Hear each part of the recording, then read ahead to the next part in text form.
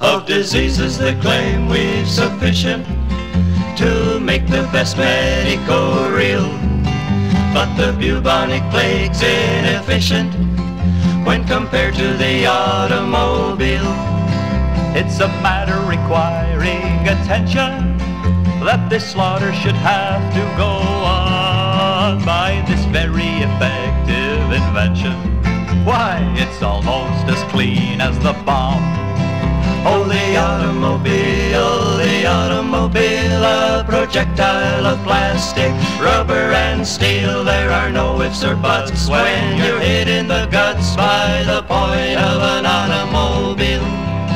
So it seems that there's some sort of crisis that has got the support of a few. And the thoughts in our heads aren't the nicest when we hear what the makers won't do.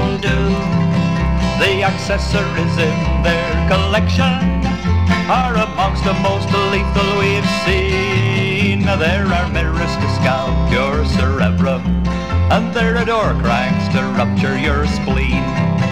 In the automobile, the automobile, you feel like a giant when you take the wheel. But don't be distressed if it pierces your chest when you're driving your automobile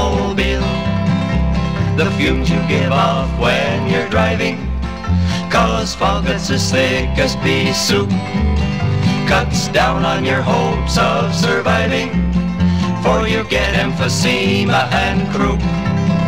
No matter your skill and attention, no matter your daring and nerve, they'll sell you a rear end suspension that's gonna turn upside down on a curve in your automobile, your automobile. Rush down to the showroom, pick up that deal, and if something goes wrong as you're driving along, there's a fellow we know standing by with the safest can